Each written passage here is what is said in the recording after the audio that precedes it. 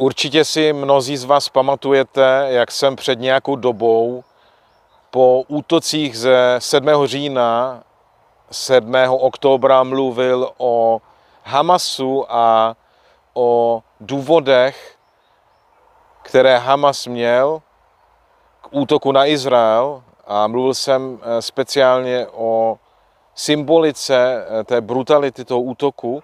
Také jsem mluvil o červených jalovicích a mluvil jsem o přípravách na stavbu třetího chrámu. Víte, eh, mnoho lidí pořád ještě nevěří, že třetí chrám bude postavený, dokonce mnoho křesťanů v to nevěří. A já respektuji to, že mají jiný úhel pohledu, nicméně já osobně věřím na základě mého studia Božího slova a na základě toho, co vidíme, že se opravdu děje, já věřím, že vše se připravuje ke stavbě třetího chrámu. A já bych vám chtěl dát trošku takový eh, malý update, několika minutový, ohledně toho, co se nyní v tomto čase děje v Izraeli.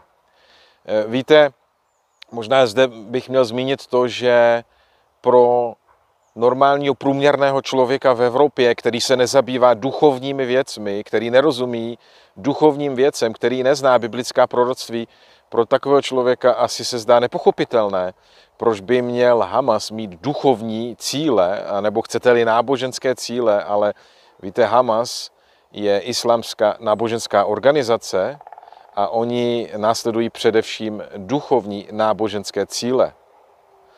Takže oni sledují eh, a vůbec celý ten arabský svět, arabský, muslimský, islámský svět velmi pozorně to, co se děje v Izraeli. Já jsem eh, před pár dny viděl video dvou eh, islámských učenců a byl jsem překvapený z toho, jak detailně oni sledují situaci ohledně příprav na stavbu třetího chrámu. A víte co? Asi by to jejich studium zahanbilo mnohé pastory a mnohé kazatele, protože oni se tímto, co se děje uvnitř Izraele, zabývají eh, mnohem pozorněji a ve větším detailu než většina křesťanů v Evropě. Pro většinu lidí život jde dál a každý se zabývá svými eh, každodenními starostmi a lidé moc neřeší to, co se děje v Izraeli, ale já vám něco řeknu, my bychom v tomto čase měli být velmi bdělí a měli bychom se eh, právě ještě více zabývat tím, co se děje v Izraeli, protože Izrael jsou boží prorocké hodiny pro nás, pro znovu zrozené křesťany. Eh, tudíž je to velmi důležité, co se tam děje.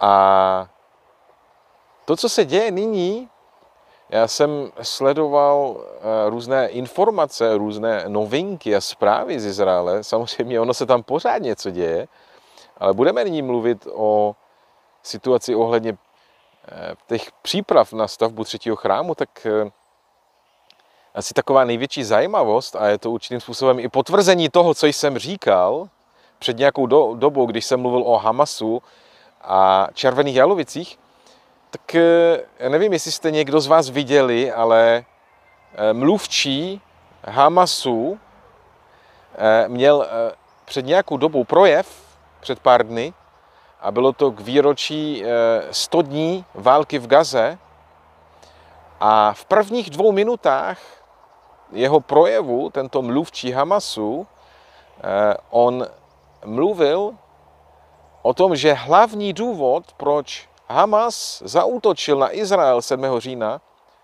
byla přítomnost červených jalovic v Izraeli. Takže to máme přímo z jejich vlastních úst. Toto není nějaká moje teorie, toto není nějaký můj názor, toto je něco, co říkají vůdci Hamasu a bylo to řečeno ústy jejich mluvčího. Víte, oni měli eh, tento projev k příležitosti 100 dní války v Gaze. Eh, tento projev byl především pro arabský islámský svět. A v těch prvních dvou minutách oni se rozhodli říct to, co z jejich úhlu pohledu je pro ně to nejdůležitější. A o čem oni mluvili v těch prvních dvou minutách pro arabský svět? Mluvili o stavbě třetího chrámu, mluvili o tom, že to je pro ně největší hrozba, oni se bojí, že ty mešity na chrámové hoře v Jeruzalémě budou zničené. A oni detailně mluvili o přítomnosti červených jalovic a znovu ji zmínili, tu přítomnost těch červených jalovic a mluvčí Hamasu doslova řekl, že to byl ten hlavní důvod, proč zautočili na Izrael a to byl také důvod, eh, jakým způsobem oni zautočili na Izrael. Že oni byli tak brutální. Já jsem již o tom mluvil v tom předešlém videu, takže nebudu zde eh, zmiňovat detaily, ale v podstatě to, co jsem říkal ve svém videu, když jsem eh, spojil ten útok Hamasu s červenými jalovicemi, oni sami potvrdili. A vy si můžete, kdo rozumíte anglicky, sami najít na YouTube to video, kde on mluví. On sice mluví v arabštině, ale tam překlad i do angličtiny, možná si tam můžete dát i překlad do jiných jazyků, to nevím, to jsem neskoušel. Každopádně oni to skutečně potvrdili. Takže oni sledují duchovní cíle. Víte, toto je duchovní válka. A to, co vidíme v Izraeli, tak eh, se velmi často projevuje fyzicky, viditelně, vstupuje do, do toho viditelného světa. Eh, já jsem se díval včera, když eh, stříleli z Libanonu rakety proti severnímu Izraeli, a bylo to v noci natočené to video, tak to skutečně byla opravdová válka v nebesích když Izraelci s tím železným domem, Iron Domem, sestřelovali ty rakety, které Hezbalah střílel proti ním. A znovu jsem si uvědomil, že to, co tam se projevuje fyzicky, eh, ta válka, takže vlastně my všichni stojíme v duchovní válce.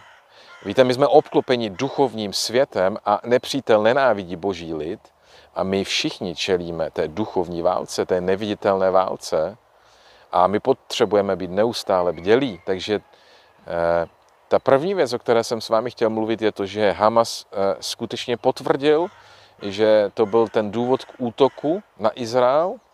Ten důvod k útoku byl právě to, že Izraelci mají ty červené jalovice eh, přítomné v Izraeli a já vám možná připomenu pro ty z vás, kdo neznáte ten předmět těch červených jalovic, že Izraelci potřebují červené jalovice k tomu, aby je mohli obětovat rituálně a potom, poté ten jejich popel, aby mohli použít pro očištění místa a pokud jim se podaří nasypat ten popel na chrámovou horu, tak v podstatě mohou položit základ pro třetí chrám a můžou postavit třetí chrám. Takže eh, Arabové, muslimové, oni tomu to rozumí, oni to vidí jako hrozbu pro ty své mešity na chrámové hoře tu stavbu toho třetího chrámu. My víme podle Bible, podle biblických proroctví, že třetí chrám bude postavený. Všechno k tomu směřuje. A nyní s vámi budu mluvit o, o další věci. Viděl jsem video, kde eh, izraelský premiér Benjamin Netanyahu, a tady překládám to video, tak eh, on navštívil židovskou ješivu, náboženskou školu a zpíval společně s ostatními píseň, ve které eh, vyznávali, že očekávají příchod Mesiáše. A pak jsem ještě viděl před eh, dvouma dny argentinského prezidenta, který navštívil Izrael a on měl projev a v tom projevu řekl, že věří, že již brzy bude postaven třetí chrám, aby mohl přijít izraelský mesiáš. Že vidíte, biblická proroctví se naplňují přímo před našima očima.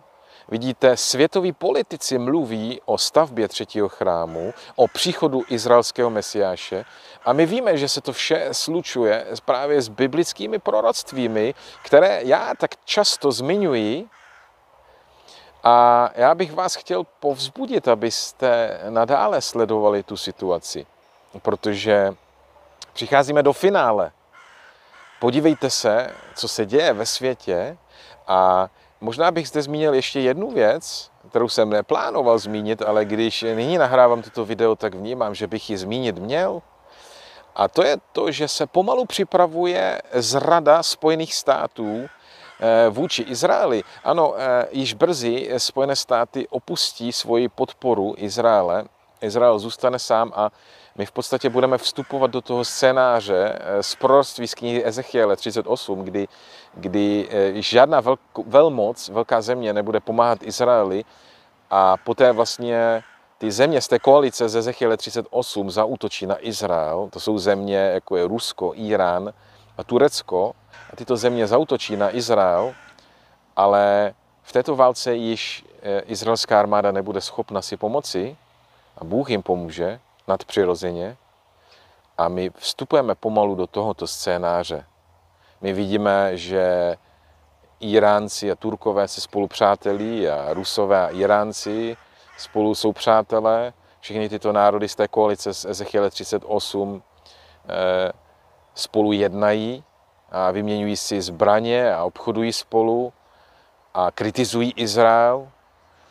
Takže ano, Vše se děje přesně podle božího harmonogramu.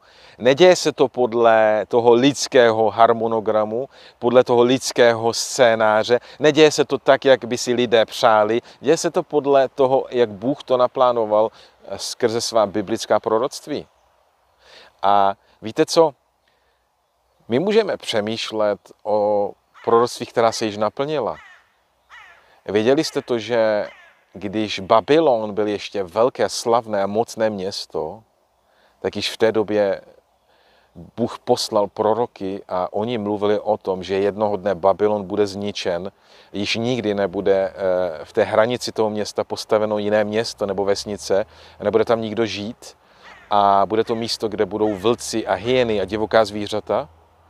A to je přesně, eh, co se také stalo. A dnes já jsem viděl video jednoho eh, křesťanského archeologa, který navštívil Babylon eh, před několika měsíci a on tam natočil video a on řekl, všechna ta biblická proroctví se naplnila a pro nás je to důkaz, že i ta další biblická proroctví, která se ještě nenaplnila, se naplní.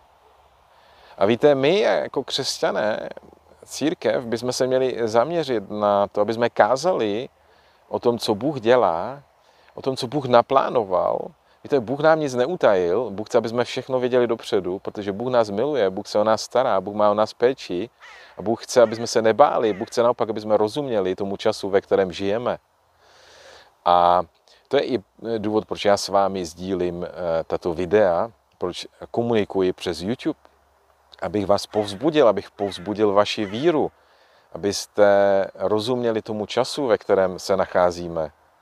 My žijeme v úžasném čase a Bůh mocně jedná a my potřebujeme sdílet evangelium, potřebujeme říct lidem kolem nás, že Pán Ježíš Kristus je Mesiáš, že On je ten Mesiáš, který přišel, Víte, my tady mluvíme o tom, že Izraelci očekávají na svého mesiáše, ale my víme, že tím mesiášem je pan Ježíš Kristus. On je ten Ješua Hamašiach. On je ten mesiáš Izraele a on je také mesiáš všech pohanů. A toho Pána Ježíše Krista my vyznáváme, o něm my kážeme, o něm my mluvíme. Pro něj my žijeme, my prohlašujeme jeho evangelium, že on přišel do tohoto světa, zemřel za hřích každého člověka, na kříži bylo dokonáno, již se k tomu nemusí nic přidat.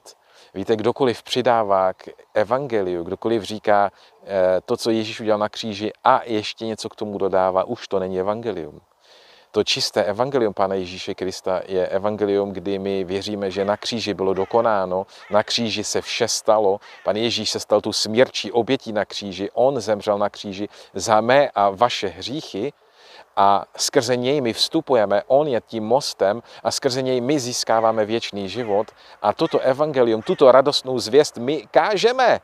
Ale víte, součástí té radostné zvěsti také je to, že on přichází zpátky a my čekáme na jeho příchod. A to je také radostná zvěst, radostná zpráva, že my nejsme zde zanecháni v tomto světě na pospas, ale že on si pro nás přichází, on na nás myslí, on se teď za nás přimlouvá, pán Ježíš, a on připravuje příbytky pro nás v nebi, aby se pro nás vrátil v ten správný čas, až mu otec, Bůh otec dá signál. Takže bděme, kažme evangelium, a já znovu zde podotknu eh, to, že každá kazatelna, každé křesťanské církve, která ještě věří v Bibli, každý kazatel by měl nyní mluvit o biblických proroctvích a měl by připravovat svůj lid, který vede eh, to místní společenství na příchod Pána Ježíše Krista. My se scházíme, aby jsme se vzájemně budovali ve víře, aby jsme se vzájemně budovali v lásce, aby jsme očekávali na příchod Pána Ježíše Krista. Bez toho eh, naše scházení nemá žádný smysl. Takže je velmi důležité, aby jsme sledovali tu situaci v Izraeli, aby jsme viděli, že Židé se připravují na stavbu třetího chrámu, Arabové, muslimové se obávají toho, že chrám bude postavený a on bude postavený, protože to je to, co Boží slovo nám ukazuje. Takže bděme a buďme připraveni na pánův příchod. Jsme velmi blízko před vytržením do nebe. Můžete společně se mnou zvolat Maran Ata, pane přijď. Amen.